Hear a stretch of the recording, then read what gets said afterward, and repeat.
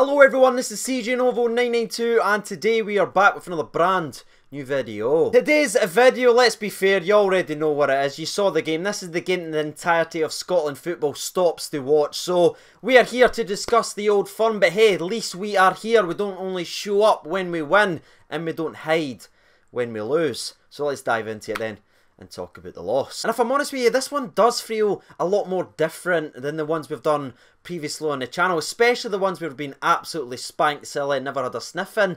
This one just feels different because it feels to me that it was completely self-inflicted. Because in yesterday's prediction video, we looked at this Celtic team and we saw just how unbalanced they were as a team, how good they were going forward. I mean, a lot has been said about this Celtic team, how bad they are compared to previous years, but like I said in yesterday's video, still going forward, they are as good as they have been when they've won titles in the past. They are very good at going forward, but defensively they were iffy, and I just thought that balance gave us a chance there to go and dominate the game, especially when you look at our side of things and how we've been playing so far this season and how strong we look as a team. Right from the Rangers goalkeeper right to the striker, there's a balance there and there's a formula that knows how to win. Especially this season, but you know what we did with that formula? That formula there that's made sure that we've not been behind for one second so far this season, undefeated. That formula right there, we went like that, we threw it over the shoulder and went, let's change things up. And I'm sitting here filming this video three or four hours after the game's finished and I'm still utterly confused and completely baffled about the team that we set out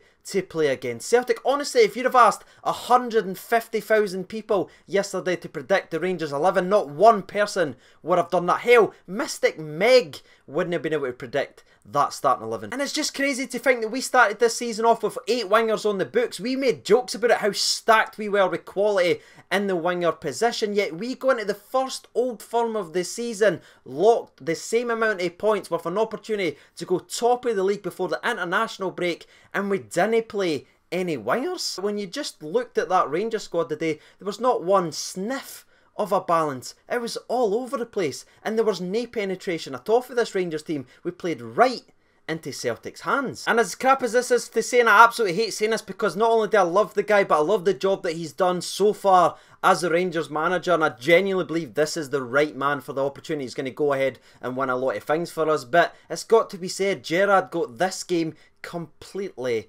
wrong. But before we go any further on with today's video and speak about these Rangers players in the way that they perform because again we just spoke about Gerrard and yes he is to blame to a certain extent but so are these players. They were on the park. They had the opportunity there to show heart and desire but none of them did. We'll speak about that all in a minute's time. We need to take a brief second out to say credit to Celtic because I mean I don't think they dominated this game. They never bossed this game versus Rangers again in my opinion. You look at the stats 13 shots for Celtic 9 shots from Rangers but the key difference was the attacking quality when it mattered. They were a lot more clinical. They had 6 shots on target obviously scored the 2 goals. We had 2 shots on target and we never came close to scoring. I mean the closest we came to scoring was when Scotty Arfield tried to scant jam. That's as far as we go on the scoring scale. And the better team on the day was the team that won the old firm. But I need to just look at this Rangers team, and again, I'm just so bitterly disappointed with just how they played. Yes, everything we said there about tactics, but where was that high press? Where was that getting in people's faces? Where was hounding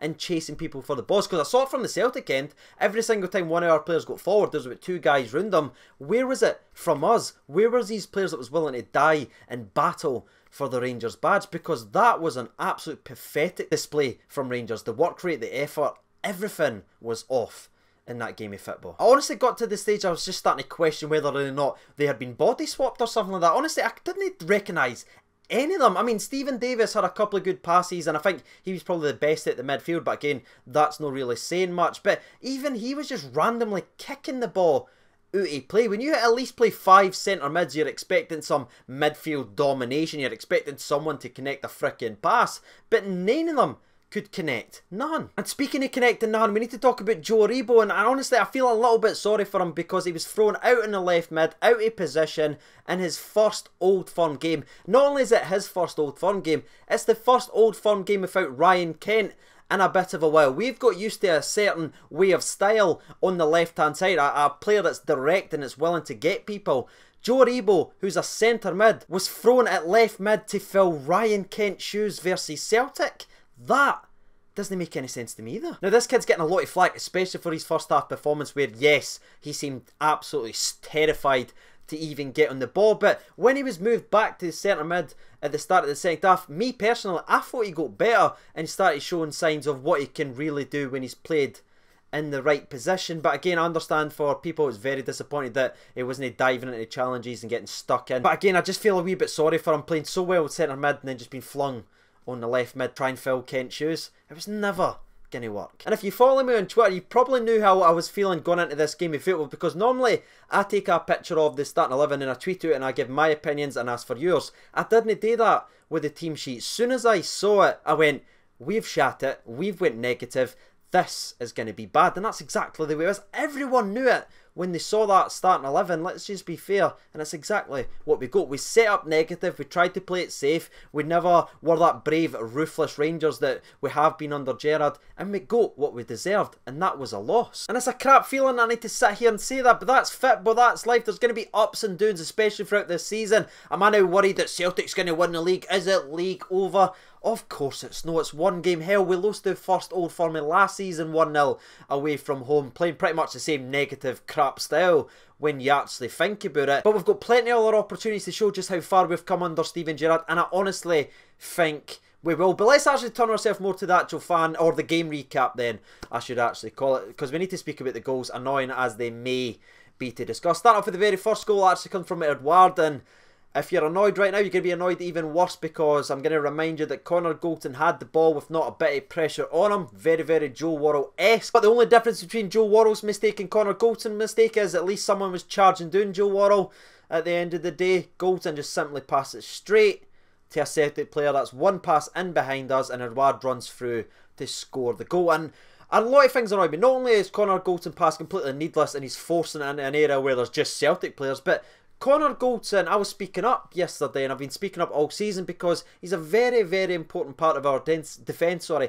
He's the vocal and he's the leader. A leader shouldn't be making that kind of mistake in a game of that magnitude, not even a little bit. And he's, if I'm honest with you, his distribution all day was absolutely terrible. But on the defending side of things, right about the 88th minute, he did put on a wonderful slide challenge to stop them from making it 2 0 before that. But again, he needs to cut out these mad moments because he's had a couple of scares so far this season and we've got away with it. But that one we never, and it's just unfortunate that came against Celtic in the biggest moment of the season so far. And that was it for major chances in the first half. I mean, and we started Jermaine Defoe, and you think to yourself, if you're starting Jermaine Defoe, then you need to get Arfield close to him. It's going to need to be nice little one-twos, little reverses and everything like that. But no, we just decided, you know what, Jermaine Defoe's five foot six, the centre has six foot seven. Let's just punt long balls at him.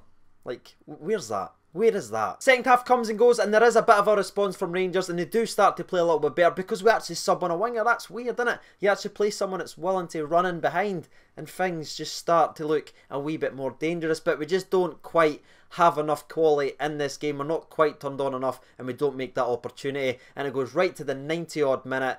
We whip a free kick, trying to get into the box to try and aim at Nikola Katic. He loses out on the header from the counter attack. Jonny Hayes ends up scoring after his first initial shot is well saved by Allan McGregor.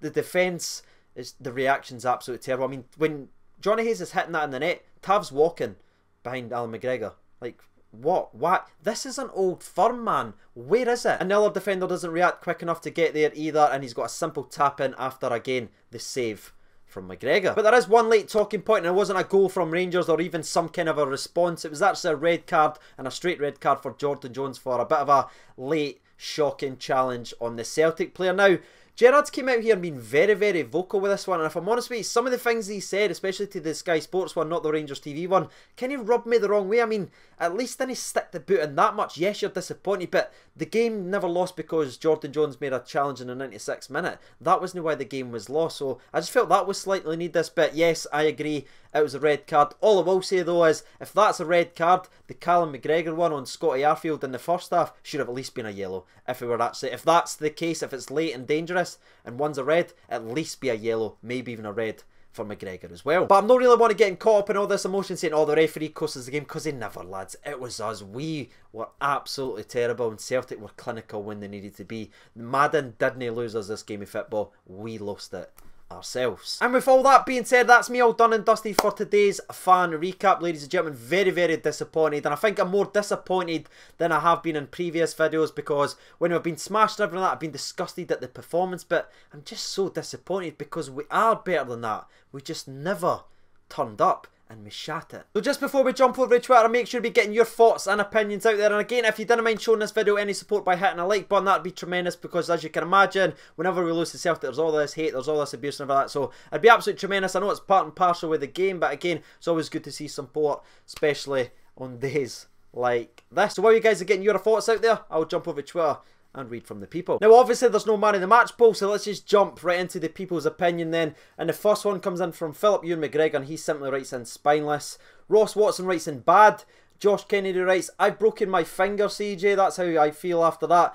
What the F was Gerrard thinking today? Utter piss from start to finish. Ojo is pish. We need Kent. I know Jones got sent off, but at least he has the balls and shows a bit of passion. David White writes in, why alter a winning formula, formation and tactics wise? Gerrard himself said he believes the players had shaken off their old firm fear, but then he overthinks it himself and alters things. Managerial naivety today. That is some tweet there, David. I completely agree. That's basically what I tried to say for the, the entirety of the recap. David's absolutely nailed it. I'm agreeing with him, mate. Kohler writes in terrible. Why change a formation that's working? Why Defoe? Why Steven Gerrard? Why? Billy Kay writes in solid performance from Arfield, Davis and Shagger. Diarrhea from the rest. Andrew Graham writes in Goldson always has a mistake in him. Callum Stewart writes, we were due a kick in the balls this week. Still doesn't make it any easier to take. Nope, no it doesn't, Callum. James Blackhurst writes in, disappointed with most of the team, especially Goldson. Thought he was horrible, lacked any whip and desire from most with performances like that, the league is as good as gone. Again, like I've said earlier on in today's video, that's way, way too early to say that. We've been utterly fantastic this season. Let's not get pure negative and just go down that negative spiral and say it's all over. It's four games into the season. There's still a lot of football to be played. Travis writes in, Ojo was carrying a tractor. Remember that time when Ojo passed the ball out to play? We then won it back in our defence. We passed it to him. He bet two men. The crowd's up. Then he passed out to play again. All within 60 seconds.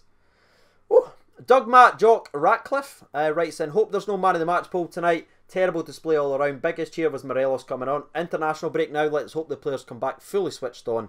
No surrender. Mark McMinn writes in, Effed it from the start. Gerrard shat it tactically. No wingers at home against your biggest rivals. Nah, sorry. That's unforgivable. Celtic didn't even play all that great, which shows how bad we were. They defended well, though, and our passing was shocking. Looked like we didn't care. Yeah, you've actually got to give them a lot of credit because their defence was very leaky, and you see it's basically patched up with sellotape. Yet that boy who's a midfielder, what's his name? Bitton? Sorry if I'm mispronouncing it. I always, I always do. He played a fantastic game, and he's a centre mid. That just shows you how bad we were. We never went at a defence that had a centre mid at centre half. We can talk about Joe Aribo at left mid. They had a centre mid at centre back and he strolled it. We never got near him. George writes in, shows how much we need Kent. Barely any directivity. Far, far too scared. Today it was mince. And the last one we did it comes from Lachlan. He writes, awful. No words to describe that. Announce Kent. So there it is, ladies and gentlemen. You've heard from the people. You've heard from myself. If you haven't done so already, you know what to do. Bye now. And as always, I've been CJ Novo 992. Thank you so much for watching and bye.